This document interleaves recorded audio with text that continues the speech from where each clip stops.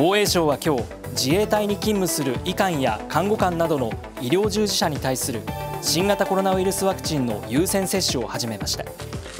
自衛隊では全国でおよそ1万4000人が優先接種の対象になっていてワクチンが届いたところから順次接種を行うということです。ほとんど痛みは感じませんでした。副反応に注意をしながら、えー、接種を進めてまいりたいというふうに思っております。